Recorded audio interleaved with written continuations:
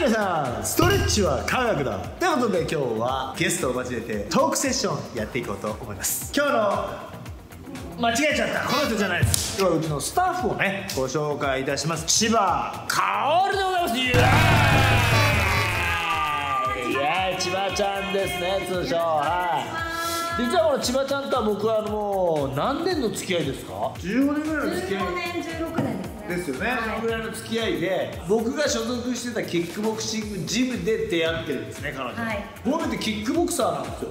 プロの女子のね。これだからちょっとなんかいかついじゃないですか。腕グッてやってるんですほらほら。ちょっといかつすぎますこねれ。でも実は彼女は本職はダンサーなんですよね、はい。ダンサダンサーです。ーダンサーなんですよ。どんなダンスかちょっと見せていただきましょう。はい。はい。これチューブですね。どれですか千葉ちゃんは？これですね。お前田さんのいますね。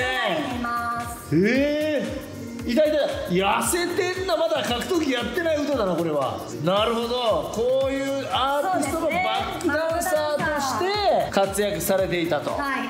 これ今ですね。ヒールで踊ってんだこれ。はい。すごい。うお髪の毛が長いからいいですね。有利ですね。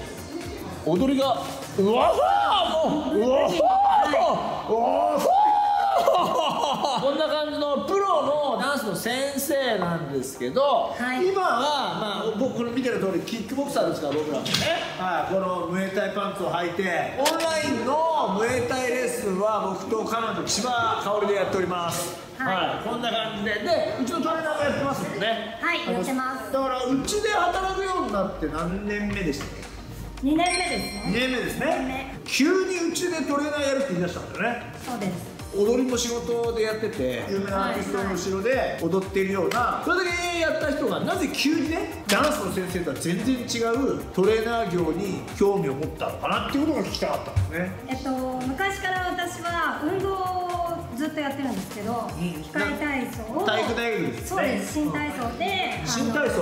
そうです。新体操の画像こちらああすごい。はい、全日本だったりとか団体なんですけど優勝させていただいたりもしたんですね。え？特別とかで。全国で？全国で。全国優勝したの？そうそうなんです。すげえ。全国優勝？そうそうですそうです。高校で？大学で。え？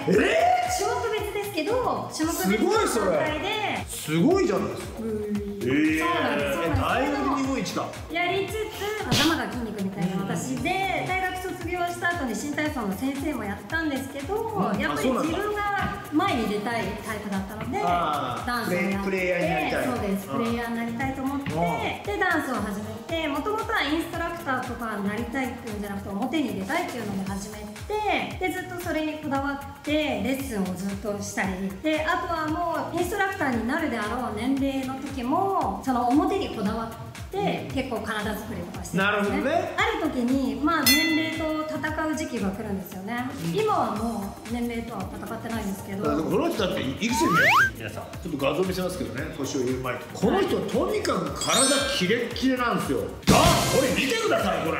こんな腹の45歳います？45歳ですよこの人。そうなんです。45歳で先ほどの話に戻ると年齢の壁っていうのは自分で結構作っちゃうもんなんですけど、作らなくていいのにやっぱり作っちゃうんですよね。そろそろ私は違う分野に行きたいとか、行った方がいいんじゃないかと勝手に決めてまあやってきたことに対してマイナスになってしまった時期がありで新しいことにもチャレンジはいろいろヨガだったりピラティスだったりいろいろしたんですけど、なんかちょっと違うなっていう感じがあったりしてそういう時期を得て全然人と関わらない仕事よりは自分の経験を生かしたりとか多くの人と出会いたいなと思ってたんですね。ダンスを通じて人に出会って楽しかった幸せだったっていうのをまあもっと多くの人と接すること関わりたい。がそうです。なるほど。えそれでトレーナーになろうと思ったんですか？そうなんです。その時に、うんそうだと思い出して。ああ俺のこと思い出して。そうそうです。ではい。トレーナー業としてダンスも、まあ、今現在やってます。よね、はいダンスやりながらトレーナーの仕事に就いたっていういわゆる、はい。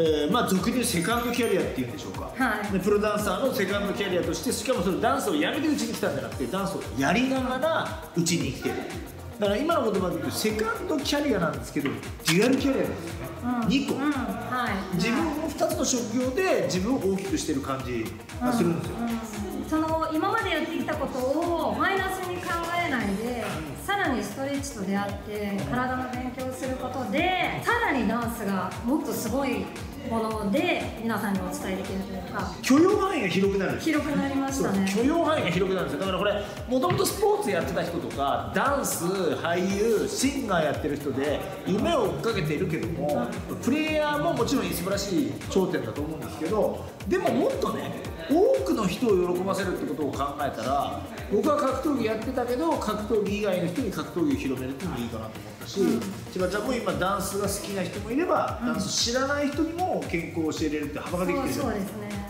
っていうのもいいじゃないですか。はいそういう広さっていうか今まではダンスやってる人にダンスを教えてきた、うん。もしくはアーティストが好きな人にバックダンスを教えてきた、うん。うん。でもバックダンスのアーティストも知らないダンスにも興味がないっていう人と今接してるじゃないですか。そうですね。接してみてどうがですかかなり楽しいですね。楽しい？楽しい。それはな自分でななどうも楽しいんですか？やっぱり人の喜ぶ姿だったりとかもうほんとベタですけどそんなに自分が合うと思ってなかったですね。ダンスを教えることが自分はあの一番なのかなと思ってたら自分で決めつけてただけでなるほど。そのストレッチをして皆さんが良くなる健康になる自分の喜びだったりもするっていうのに気づけて私みたいなもしあの迷ってる方がいたら多分何か見つけられてないだけだと思うんですよね。もうどうせ私なんてとかそういう感じじゃなくってきっとその何かに出会えば今までやってきたことは絶対活かせると思うんですよ。皆さんもやっぱりそうですよね。諦めないで諦めないで。同じような顔してる人が言ってましたね諦めないと言って諦めないで。あれマヤさんアーティストとか歌手とか俳優とかその他のスポーツとかやっててうん。夢を追っかけてきたけど、でも成功して最終ゴールまで行く人って実はもう3%ぐらいしかいないわけですよ、うん。あとの 97%97 にはうまくいかないっていう見方も古いと思うんです。ね、うん。97%の人たちは一番上の人たちと違う出し方表現の仕方をすれば多くの人を救えたりするじゃないそうだと思います。っていうことに気づいたんじゃないかなと。そうなんです。なのでね。がぜ今一番やる気ですねおおいいじゃないですもうかその新体操やった時ダンスやった時以上に今ワクワク。へもうだからもうえ嬉しい。ちょっと昔って一つの職業をそれだけやってれば美だみたいなところあったじゃないですか、もうそれって古いって言われてて、フリーランスでえー2つも3つも仕事掛け持ちしてる人多いと思う。んです掛け持ちすることが素晴らしいんじゃなくて掛け持ちすることを1個にすることが結構美しいと思うんですよ、うん。それがデュアルキャリアで